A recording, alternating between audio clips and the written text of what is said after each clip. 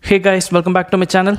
Honda has launched the Highness CB350 in India recently, and the arrival of this new machine has become a quiet talk among the motorcycle enthusiasts.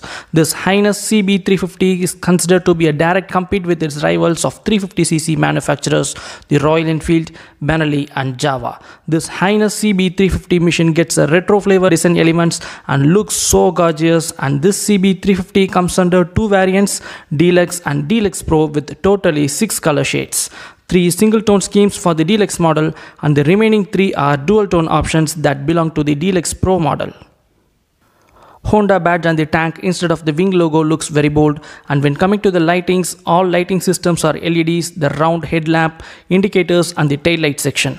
Powering the Highness is the 348.36cc single cylinder air cooled fuel injected engine seated on a half duplex cradle frame that puts out 21 PS of max power at 5500 rpm and 30 Nm of max torque at 3000 rpm mated with a 5 speed gearbox.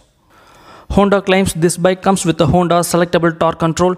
We do get a slipper clutch assistance, side stand and rollover protections as well. We also get an engine kill switch with an integrated starter button. This machine gets an one more safety inclusion, the hazard lights. The hazard lights are nothing but all indicators flashing at a once, which would be much more helpful in a foggy riding conditions.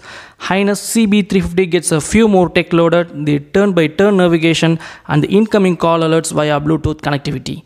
Please make a note, the turn-by-turn navigation and the call alert features are only available in the Deluxe Pro model.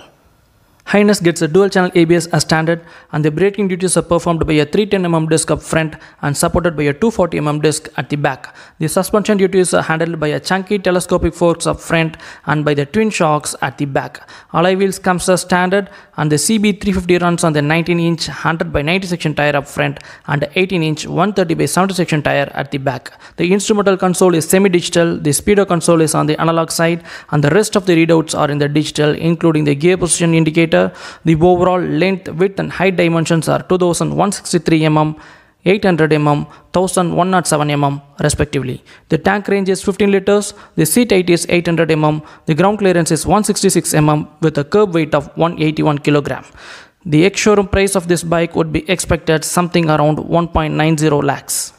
This Honda Highness CB350 will only be sold exclusively via Honda's big wing dealerships.